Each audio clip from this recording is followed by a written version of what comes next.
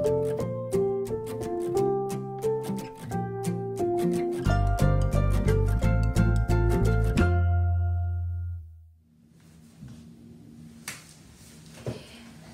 there, my name is Sister Amanda, and this is Ask Sister.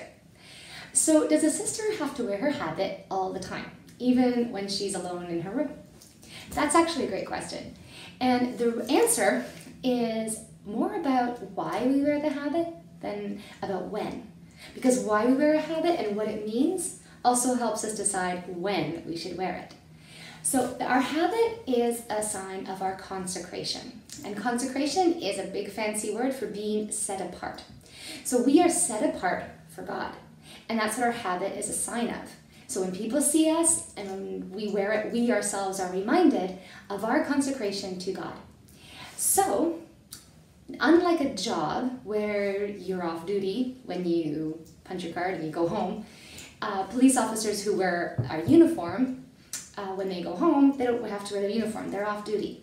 Uh, when a doctor wears a certain type of um, scrubs or clothes uh, to perform their duty as a doctor, as a surgeon, as a nurse.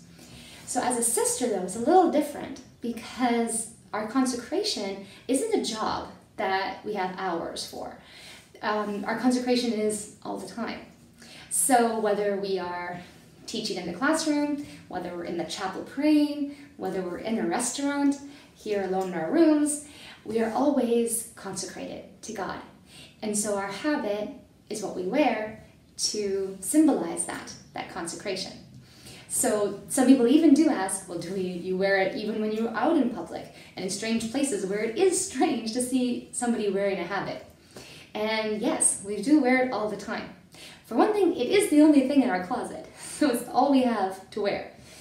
So it reminds us of our consecration. It remind, and it's a witness to the people around us of our consecration as well.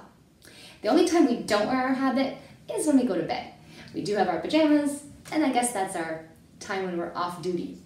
Um, we still remain consecrated, but we don't need to wear our habit for that. But otherwise, the reason we wear our habit to remind us, to remind those around us, we are consecrated to God. And we are consecrated all the time. So, as awkward, as uncomfortable maybe as it sometimes is, it is what we wear all the time. And it's actually pretty amazing how much you can do in a dress and how comfortable it is when you get used to it. Thanks for the question. I'll see you next time. God bless you.